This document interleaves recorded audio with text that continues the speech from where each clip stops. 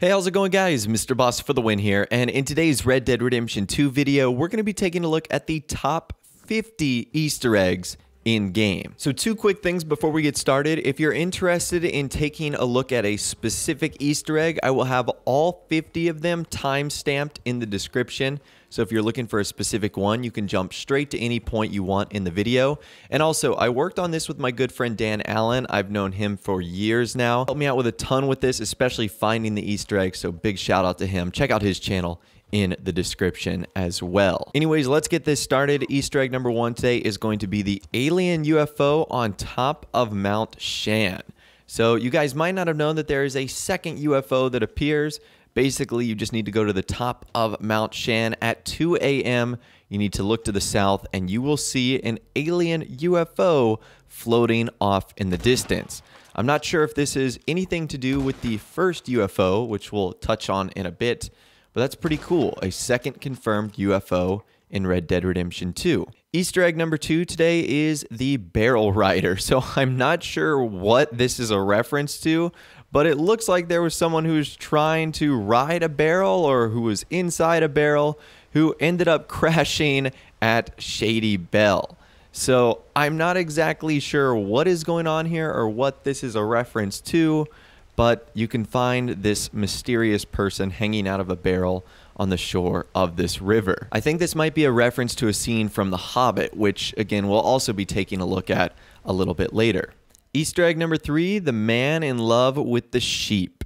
So you'll actually find this guy in this sort of barn. There's a black sheep with a pink bow around its neck, and this guy has his pants down. And you can actually find a wedding ring on this sheep, but the fact that this guy is face down with no pants on in a sheep's house, I think there was something pretty weird going on here. Let's just say that. Number four today, you can find the bones of either a giant or a Sasquatch. I'm really not too sure what it would be, but look at the size of these bones. I mean, just the leg is like the size of a normal human. And I mean, you can see the remains of some other pretty big animals around here as well. So, again, I'm not sure if this is Bigfoot, Sasquatch, or something else in between, but this, whatever it was, is a massive creature. Number five today, there is a creepy, like, exorcist woman that is actually found in this like outhouse and this has to be one of the creepiest easter eggs in the game. You can actually peek inside the window but do so at your own risk because this lady will like swing her arms out at you.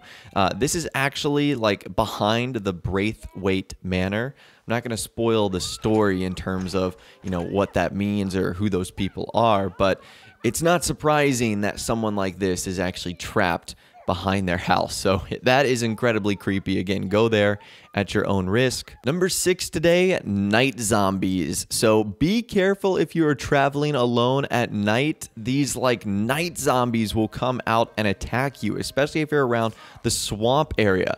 They're like these half dead people that will come out and try and ambush you at random points. Like, how creepy is that? So I would be very careful if I were you doing things in the swamp area. You might be attacked by one of these night zombies. Number seven today, there is a deformed singing man. I mean, this guy seems to be having a, a good time with his banjo, but man, is this guy deformed. Like, I don't know if he, you know, stepped in some, you know, nuclear waste or whatever the case is, but he is pretty deformed and uh, he is just a, a, really cool banjo player. But uh, man, I have no idea what happened to this guy but I, I think it's going to remain a mystery too. But uh, he is just pretty crazy, pretty big, and he's also not a fan if you get a little bit too close to him. You can actually beat him up as well, which is kind of funny. Number eight today, you can find a crashed flying machine. This is actually a reference to Red Dead Redemption, uh, one of the missions in there. And this was one of like the first prototype airplanes, as they obviously hadn't been invented yet. And you can see that this prototype was clearly not a success and uh, this person crashed. Doesn't look like it's the best design, but I guess you got to give them an A for effort. Number nine today, the Ghost Train. Yes, there is a ghost train in Red Dead Redemption 2, which is very, very spooky. Uh, it only comes out at one spot and at a certain time during the night, but it is clearly there. Like you can see the the headlight of the ghost train. It illuminates the world itself. Uh, it's a little bit easier to see if you slow it down or if you're looking for it in this specific spot. But yes, there is a ghost train in Red Dead Redemption 2. Number 10 today, you guys can find a giant snake hanging from a tree. This would be pretty creepy to run across in real life. Um, I think this is a reference to the Jungle Book, if I had to take a guess. But this snake is massive. It has to be like 30 feet long.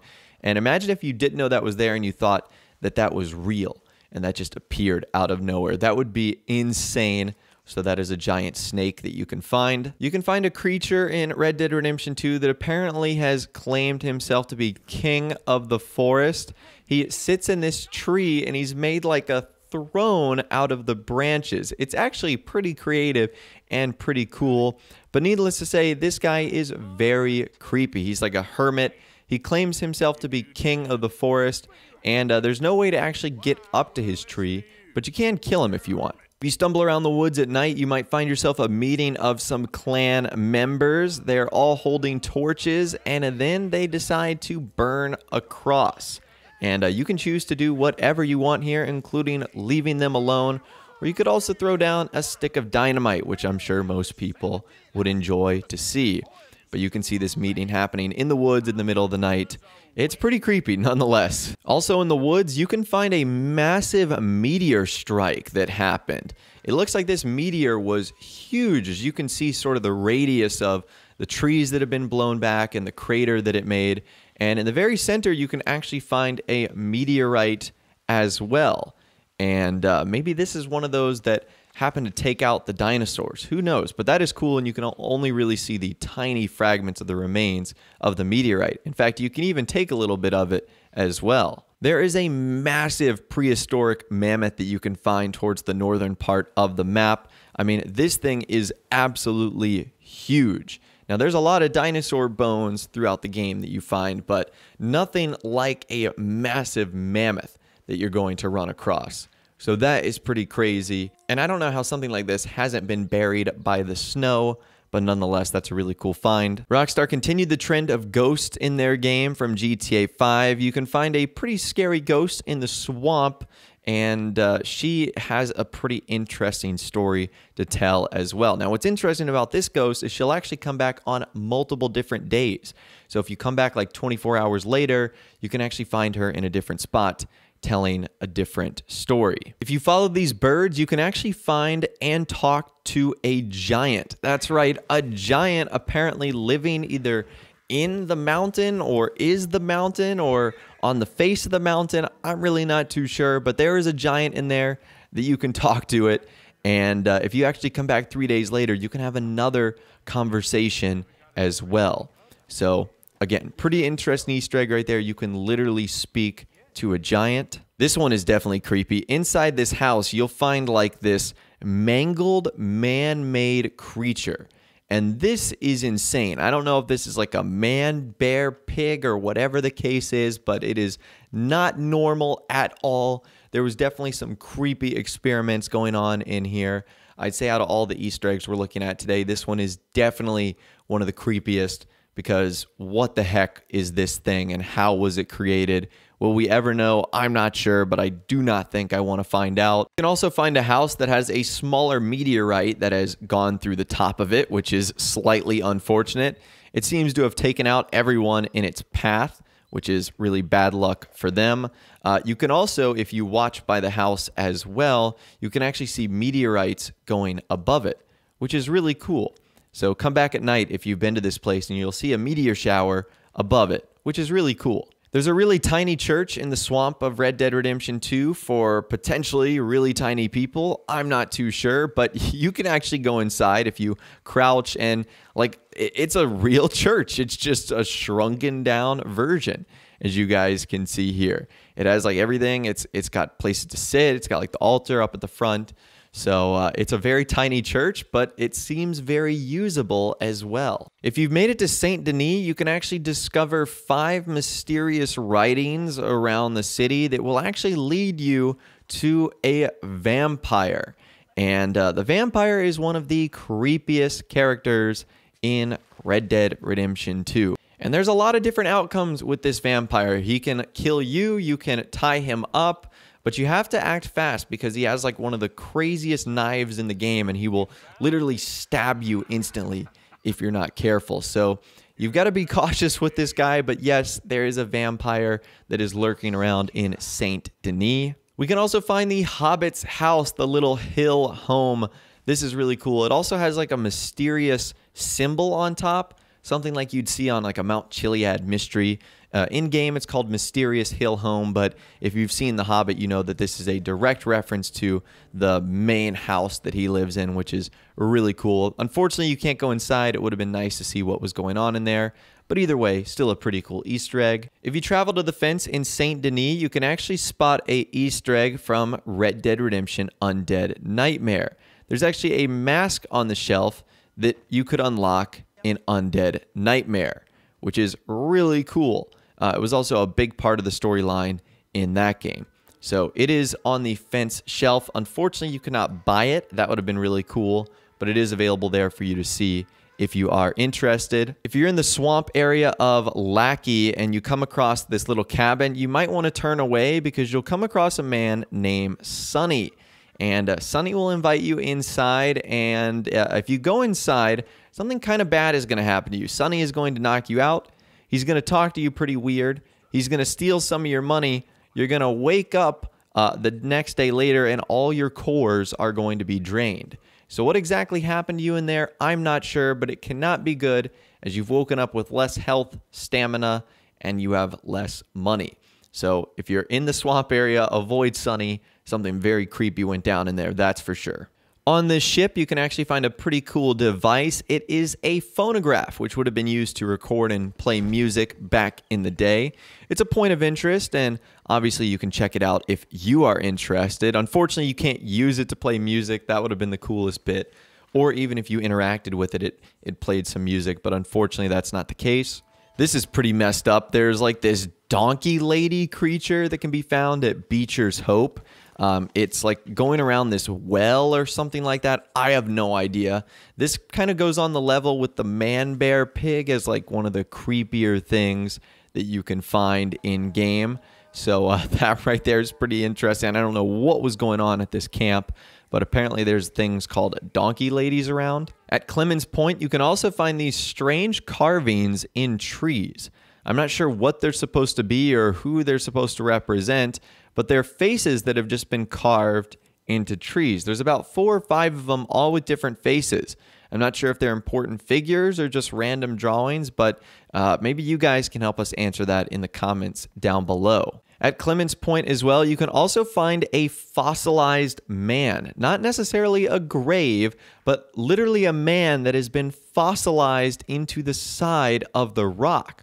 I wonder what happened to him to be able to be stuck in a position like that. All I know is that's pretty interesting. Near the top of the map, you can also find a frozen camping couple. I'm not exactly too sure what these two were doing, but you can find them underneath a tent, and they actually have a map with them. And that map is actually the panoramic map that you can look at. And apparently, it is another mystery in the game in and of itself. And uh, that map uh, will lead to some secret spots that you can check out too. Again, not sure where they are or what they mean, but that frozen couple unfortunately did not make it out of the snow. You can also find what looks to be a frozen settler or like a frozen Spanish conquistador or something like that. Uh, he's also located near Mount Hagen. And if you inspect his corpse, you can actually take his helmet as well which is really cool. It has like a giant feather that comes off of the top of it. It's pretty unique, but that guy is obviously well frozen, didn't make it What he's doing on the top of the mountain, I'm not sure. Near Strawberry, you can also find a stuffed gorilla coming out of a cage. No, that is not a real gorilla. There is a taxidermist that apparently lives nearby, and it looks like this might have fallen off of the bridge or off of his truck, and you guys can find this stuffed gorilla just hanging out in this cage, which is pretty creepy. Let's just say that if you were to come across it in real life. There's two points on the map that you can see lightning strikes actually happen. One is southwest of Annesburg. So if you go to this location and the weather is right, you will literally see a lightning bolt impact, which is really cool. So that is a rare weather opportunity that will only happen in one of two spots in the game. And that's pretty awesome. At the top of the Grizzlies East, you can actually find a meditating monk on the top of the mountain. Now, you can't do anything with him other than bother him and annoy him over and over and over again. But uh, apparently, this guy is trying to find some zen, find some peace on the top of the mountain, and uh, he's just sitting there meditating, which is cool. Good for him. I'm not sure what to call this Easter egg. I'm going to call it Wolfman, although the game calls it Feral Man. It's literally a man that lives in a cave surrounded by wolves and is completely naked. So I don't know what to make of that, but there is a very, very strange man in a cave with wolves. I mean, that's got to be Wolfman, right? I mean, he even has a journal that you can look at. He talks about his runaway diary. It's pretty creepy, but it's a very interesting find if you can discover it. So go check out Wolfman. Just west of Strawberry, there's also this mysterious statue. It's called an obelisk in game. I'm not sure who built it or why it's there. Arthur doesn't offer any explanation as to why he wrote it down in his journal, but it's there. You can find it, and it's a pretty cool point of interest. On the very east side of the map, towards the top, you can find this rock with this old world script on there.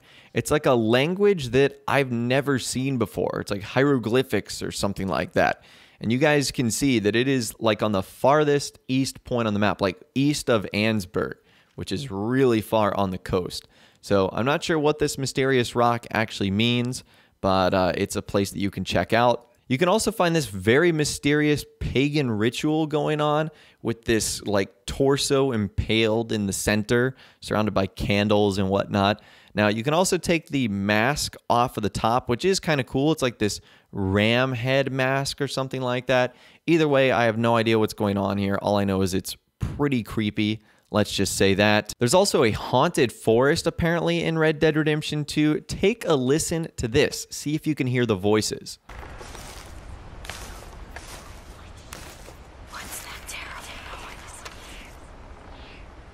Isn't that creepy? What the heck is going on here? All I know is that forest is one that I am definitely going to be staying away from.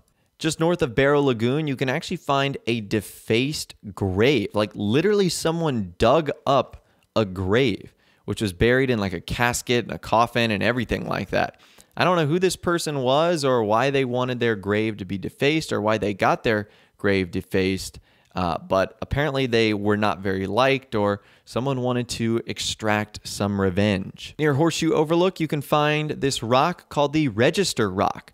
And I'm not sure what it is, but a lot of people write their names on there like Jay Brooks, S. Gray. There's a lot of dates on there too. So apparently, this is where people just scribble and engrave stuff, uh, maybe important memories or questions they want to write for people. I'm not sure, but apparently, this rock was used for communication. Just south of Little Creek, if you come across this cabin, uh, be ready to get scared because there's actually a bear jump scare inside if you actually open the cabin door and you have to spam circle in order to break free. And if you don't, you're actually going to die. You're going to get eaten alive by the bear. So just be careful about that. This cabin as more than meets the eye. If you go to this shack just north of Heartland Overflow at 2 a.m., you're going to find that another UFO is going to spawn above your head. This is the very first UFO that we discovered in the game. I think it's also supposed to be a parody of a very popular cult that happened uh, that did something similar like this. You read that mysterious sermon, and then boom, the Easter egg will appear in the form of the UFO right above the cabin. Just to the west of Colter, where you started the game, after completing this Strangers and Freak mission, you can actually find a robot on top of the mountain. Yes, that's right, a robot. This seems very advanced for 1899, but a robot was created. He got lost and found his way to the top of the mountain. And you can clearly see he is lost. He is looking to return home, but unfortunately, I don't think Arthur is going to be able to help him in that way. We can also find this very interesting secret tombstone that just has the names of various workers. Kind of creepy, the fact that they all are dying so close together. Worker 1 9, I think it says 6, 26, 27, 5, 33, 19. It goes on and on and on. They all died like months apart from each other. So I don't know what accident this was or what incident this was, but this is the mysterious tombstone of the workers that all died in 1878. So there's actually a serial killer that you can find in game, and the serial killer itself isn't the Easter egg, it's his name. His name is Edmund Lowry Jr., which would be short for Eddie Low. Eddie Low was a serial killer in Grand Theft Auto 4. Rockstar making a direct reference to Grand Theft Auto set in Liberty City and a serial killer in that game. In Valentine, you can actually become a peeping Tom. You can spy on a drunk couple trying to get it on at the late hours of night. Unfortunately, or I guess fortunately, depending on what you wanted to see, they are so drunk that they literally can't even do anything. Uh, and you will get some negative karma for actually watching. But it is a pretty funny scene to witness as these people just have no idea what they're doing. There's this super creepy area on the map that apparently was hit by the plague. As you guys can see, there's like this barn. It's a town called Pleasance, I think, or it's a shack, and it literally says "Stay out, plague." So could this be Rockstar hinting at maybe Undead Nightmare Part 2? Who knows? That would be pretty cool. There's also this massive warped tree that you can find. I'm not sure what happened to it. Was it struck by lightning? You know, was it just deformed by something? There's also a grave right underneath it as well. But it's pretty crazy. Like it, it seriously looks like it is not even a, a right tree. So pretty interesting stuff right there. Apparently, there was someone trapped inside of a well. If you go to this location right here and climb down the well, you can find like these scratch tick marks on like the wall, which would indicate that someone was maybe trying to say, like, I've been down here for X amount of days, which is a pretty creepy reference. Let's just say that. Although I'm not sure how they were stuck because there's a ladder there. So it was the ladder added recently, or, or were they just stuck down there when the ladder wasn't there? I'm not too sure. We're nearing the end. Easter egg 49, the face in the cliff. This is like a Mount Rushmore parody. Uh, so this is actually really cool. It looks like someone was working on carving some faces on the side of a mountain. Be very careful with this. You do have to stand on like a scaffolding in order to examine it and have Arthur write it down in his journal. And uh, that obviously is really high up, so you don't want to be falling down. But that is pretty awesome, sort of a Mount Rushmore uh, Easter egg. The only downside to this is it is kind of a sad story. You can find the sculptor there as well. But other than that, it's really cool. And I think that it's an awesome work that Rockstar included in Red Dead Redemption 2. And our final Easter egg today, number 50, I feel like this is a good one to throw in right at the end. It's actually another reference to a Rockstar title, and that is a bully Easter egg. So this requires a little bit of backstory. So in the UK, bully was not allowed to be called bully. So it was called Canis Canum Edit. And there's actually a weapon in game called Calloway's Revolver. And on the side of the barrel, you see that inscribed is Canis Canum Edit, which is really cool. A direct reference to obviously Rockstar Games Bully.